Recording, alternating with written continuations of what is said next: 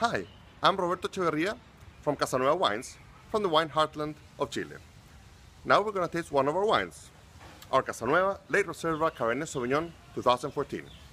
This wine is 100% Cabernet Sauvignon and is harvested one month later than normal in order to get more ripeness and concentration.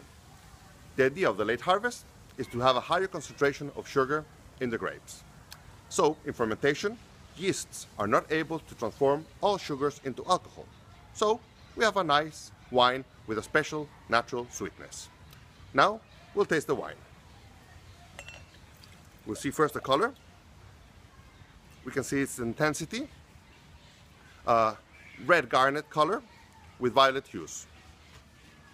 In the nose, we can appreciate this delicious wine. Uh, it delivers sweet aromas reminiscent of ripe plums and cherries, some hints of red currant, blueberries, and some chocolate. In the mouth, it offers a very nice texture and nice intensity, with a good level of acidity and a very tasty finish. Well, very important, how to drink this wine. I would recommend slightly chilled, because that way it can be a refreshing summer wine.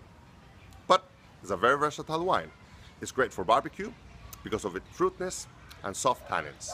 Uh, food with some sweetness also goes great, like ribs and some Chinese food.